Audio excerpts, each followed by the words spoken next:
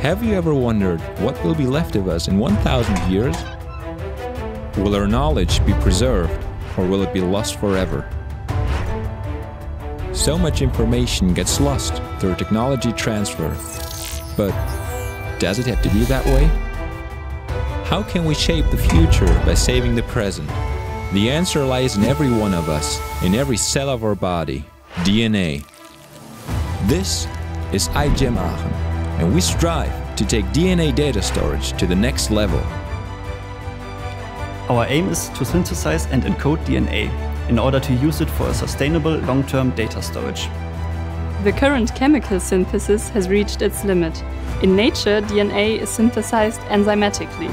The problem is, normal polymerases need a template. Our solution is to use the terminal transferase, which can attach nucleotides to a single-stranded primer. Yet, there are some difficulties. As the strand gets longer, it forms secondary structures and elongation is hindered. We want to work on that problem to enable synthesizing strands of limited length. Imagine you could fit the information of your whole internet into a bucket like this. Stored on DNA, that would be possible.